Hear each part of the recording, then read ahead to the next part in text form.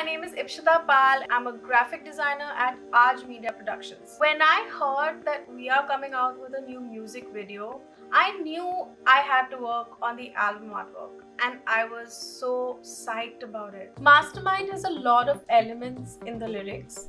I could either focus on what was written or what kind of vibe could be felt from the song. I looked through some references I was given and figured let's go with the vibe. The challenge was not to go the illustrative route because that is my go to move, always.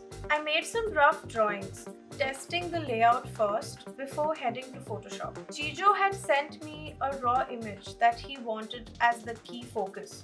So I worked on grading that first. The entire layout kind of depended on that image. I experimented a lot with the colors and the text. I went on a tangent that required me to explore layers on top of each other with different transparency to create the perfect balance between structural design and aesthetics. I wanted the artwork to be very fresh and trippy, but not so much so that the essence of the song was lost. So looking at the references, I decided to stick to a elegant, bright and simple design. The first draft was a mix of a lot of trials with placements and overlays it always takes a lot of tries to get the design you like, since the first idea is never the one you go for. It's always a stepping stone. I did go a little crazy with the text though. I really wanted it to have a lot of character. It took me around 15 tries to select the basic font even then, I was not satisfied with just the font because it was not enough. You can generally tell when something is missing. So I decided to modify its structure and add layers of text on it to see how the design changes. Sometimes you need to warp and distort something to get the final result. The second draft dealt with color options. I layered a variety of different colors on each other with different transparency to understand which colors complemented each other and the song better. Parts of the two options were selected. For the third draft, I had to combine the two options, so that called for a lot of permutations and combinations. I felt like a magician. It was great. I saved the best part of the project for last because it was the most fun thing I did.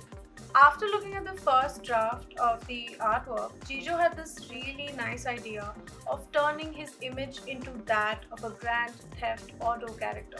Basically, he wanted that effect in place and I was not particularly sure of what GTA characters look like, so I had to look it up. Basically, I'm not that cool, I guess. I had to follow a tutorial to work out the kinks of the edit and it took me a while to get a grasp of it.